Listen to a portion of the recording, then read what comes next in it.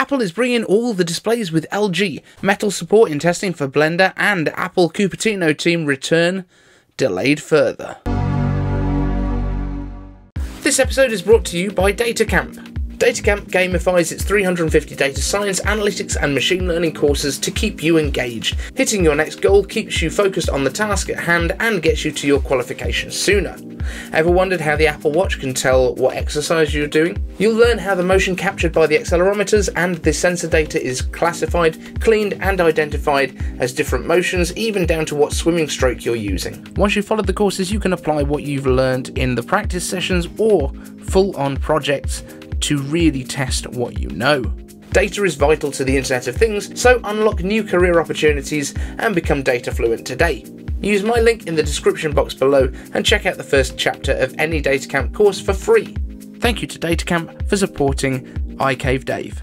LG Display is reportedly working on three separate standalone displays that are most likely destined to have an Apple logo, though based on the current form, probably only on the back. What makes us think these are for Apple? Well, there are a 24 and a 27 inch panel, the same size as the current and next expected iMacs, plus a 32 inch, which is in line with the current Pro Display XDR. Not only these sizes, but they're also all mini LED XDR panels capable of 120Hz variable refresh rates. Sounds pretty Apple to me. But a 32 inch panel? That one apparently has a custom Apple silicon inside Presumably the A13 we've been hearing about, although big display with processor in it sounds a lot like an iMac to me. And so it seems just as with the MacBook Pro's users demanding the Pro ports back, it seems that Apple has heard the demand for standalone displays too. Pretty awesome. And the idea of having three different ones is uh, even more awesome, actually. I think the 24 inch, the 27 inch are probably there specifically to match with iMacs that are going to be available. So hopefully they get the heights right this time as well, so that there's not like that step down that we had with the Thunderbolt displays. Next up, as we recently reported, Apple has become a supporter of the Blender project, bringing capital and expertise, and that is already coming to fruition. Apple's Metal GPU rendering has been added to the Blender Cycles engine, allowing the GPU to do all the heavy lifting. Early results are very promising, especially in tasks needing more video memory, as with the M1 Max you can have up to 64GB of unified memory shared between the CPU and GPU. Renderboy Apple Tomorrow is very excited. And the last story before we get to your iCave answers, Tim Cook has emailed the team in Cupertino to say that the 1st of February return to office day has been pushed back indefinitely given the current situation with the pandemic. Each employee has also been given $1,000 to spend on home office equipment too, suggesting that Apple senior management aren't that confident that their teams will be back on site anytime soon. Will this lead to more delays in products and software features? That remains to be seen. But next up, we have iCave Answers, where I answer all of your questions from the comments section.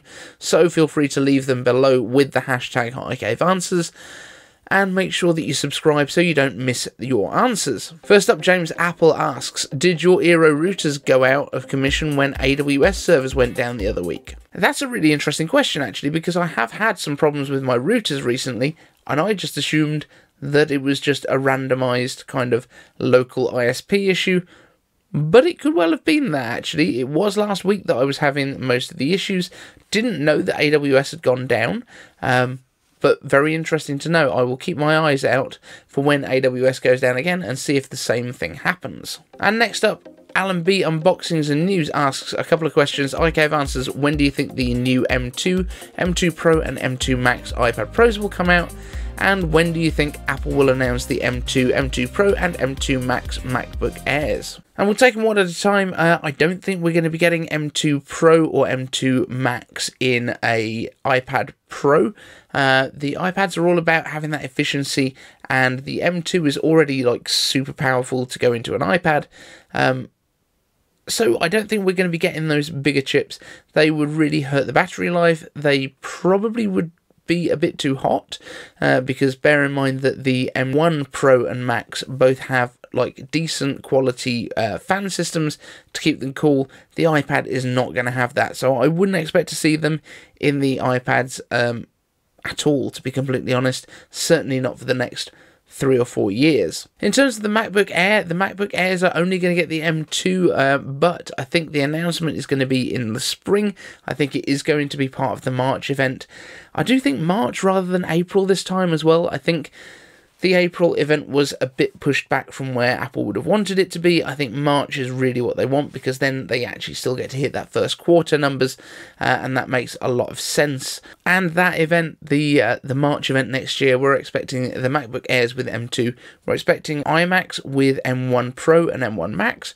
We're also expecting to potentially see the Mac Mini with the more powerful chips as well. And today's show's a little bit shorter uh, because I've got a crazy day today um, and I haven't had that much time to get the show prepared, get it recorded, and get it out. Um, but you can use the code SUPER10 for 10% off anything in our merch store today. That is at icavedave.com forward slash merch. So you can get. Uh, mugs, you can get water bottles, you can get hoodies, t shirts, the works. It's all right there with our classic designs.